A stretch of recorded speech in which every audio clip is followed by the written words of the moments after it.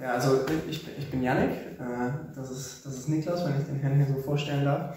Wir sind äh, Ride-Up ähm, oder beziehungsweise sind Teil des Teams Ride-Ups und wir haben ein System entwickelt, wie wir Menschen zu mehr Nachhaltigkeit bewegen wollen und wir wollen quasi Menschen fürs Fahrradfahren belohnen mit ökologischen Produkten und das Ganze aber in Form einer Plattform, wo sich ökologische Unternehmen und ökologische Nutzer letztendlich treffen und somit mehr Aufmerksamkeit für das Thema Umwelt und ja, Nachhaltigkeit generell zu stärken.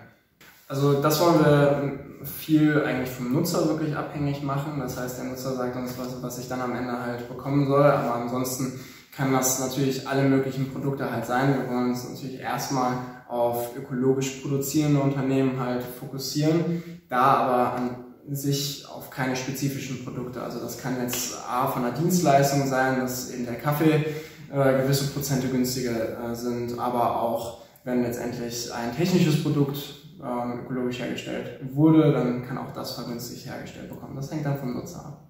Und genauso natürlich auch Spenden. Ne? Dass, wir, dass wir natürlich Spendenaktionen äh, uns da irgendwie beteiligen möchten und man das oder seine gesammelten Coins da natürlich auch noch einlösen kann.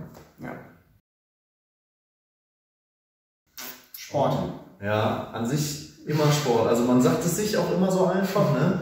Wenn man dann morgens aufwacht, ist es nicht ganz so einfach, aber Sport, definitiv. Da bist du direkt Vollgas bei der Sache. Eigentlich hätten wir Fahrradfahren sagen müssen. ah. Das hätte dann aber zu. So, das wäre too much. Ja, too much. Das ist so offensichtlich. Okay, ja. Passt.